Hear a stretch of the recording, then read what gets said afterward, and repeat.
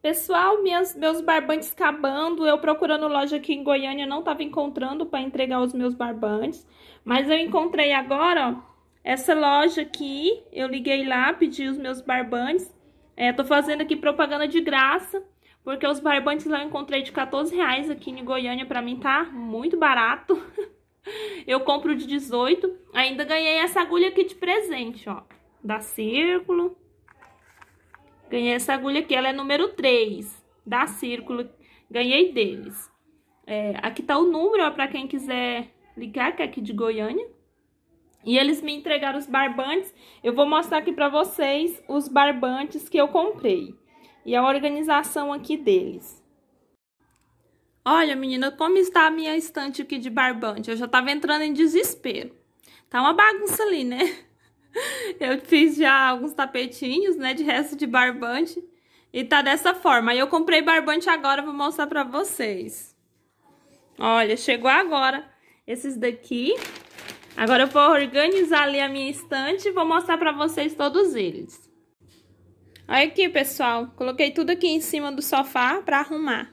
Eu acho que eu tava chorando à toa, né? Porque ainda tem muito restinhos por aqui, ó. Vou organizar ali e vou mostrar pra vocês. Organizar essas que chegou aqui, né? Aí eu vou mostrar pra vocês. Essas foi as que eu comprei agora. Vou colocar aqui tudo nessa estante que eu já limpei, né? Vou colocar tudo aqui agora. Eu tenho aqui esses barbantes que eu estou trabalhando agora com esses. Geralmente eu termino uma peça para começar outra, né? Mas é, agora eu tô toda bagunçada fazendo aqui três ao mesmo tempo. Vou mostrar pra vocês como é que ficou os barbantes. Assim ficou, menina, a organização. Ali em cima tem aqueles que é de 2 kg, né, cada um. Esse rosa neon e esse é, laranja neon. E aqui tem esses que eu comprei agora também, junto com aqueles. Ficou nessa parte. Ali já eram os que eu já tinha mesmo. Do lado de cá eu coloquei os número 8 eu tenho restinho de 8. E de cá tá os, os 6, número 6.